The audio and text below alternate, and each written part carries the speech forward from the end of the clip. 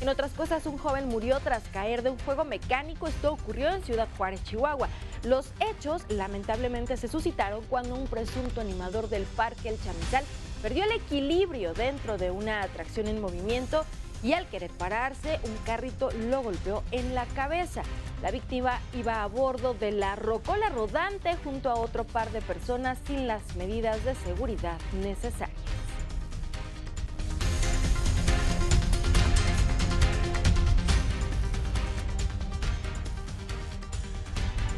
Y las fuertes ráfagas de viento tiraron parte del techo del aeropuerto de Mexicali, Baja California.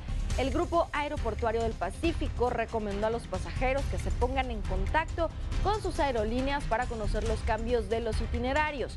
Esta mañana se reanudaron operaciones en esa terminal aérea.